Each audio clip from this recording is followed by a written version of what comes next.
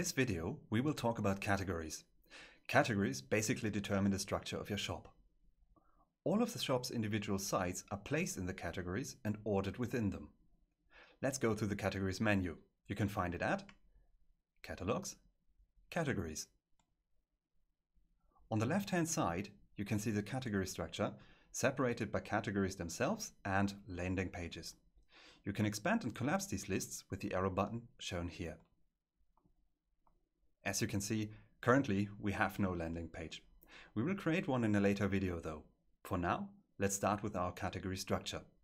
We can see the shop's root category, as well as another arrow button, which serves the same function as before. It expands and collapses an overview of the category tree and shows the various subcategories and general structure we created for it.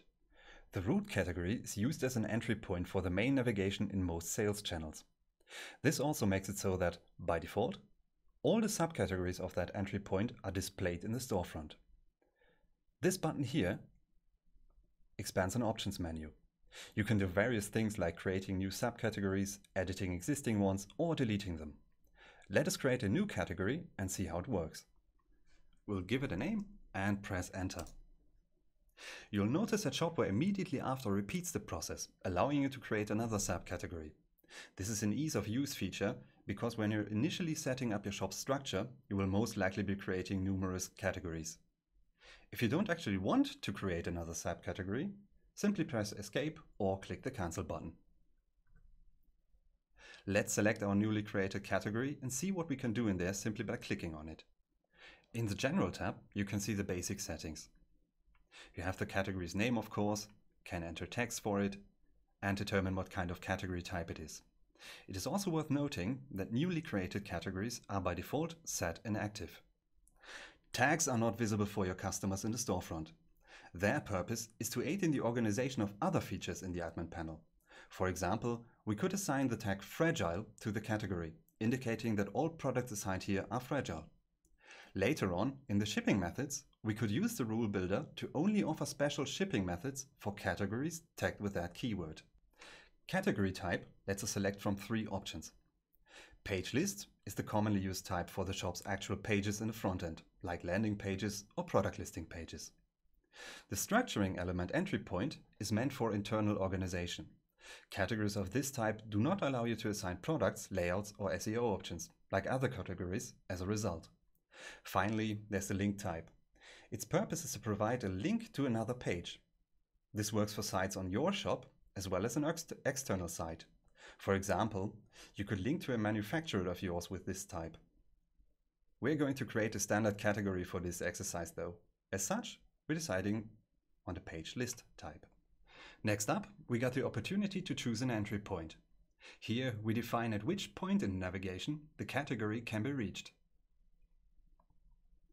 Main navigation means below the shop's logo in the upper part of the storefront. The footer navigation is located in the lower area of your storefront and the service navigation menu is located in the upper right part in the form of a drop-down menu. After that, we'll select which sales channels we want those settings to apply to. It's worth noting that you can select multiple sales channels for this.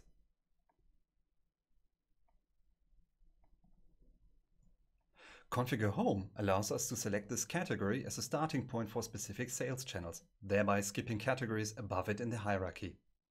Since we want to create a normal category with displayed content, we're going to delete those settings again.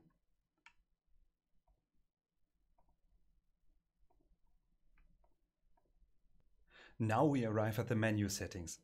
Clicking Hide in Navigation will do exactly that, hide the category from the navigation.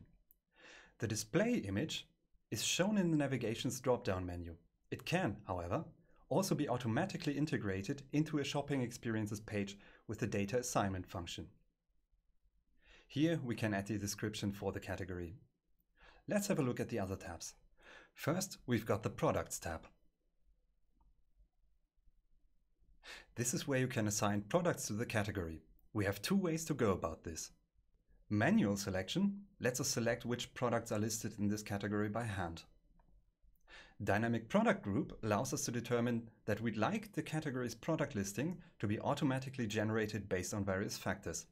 There is a dedicated video for this menu. So if you're wondering about this feature, be sure to watch that video as well. For simplicity's sake, we'll go with the manual select and appoint a few products in the drop-down menu.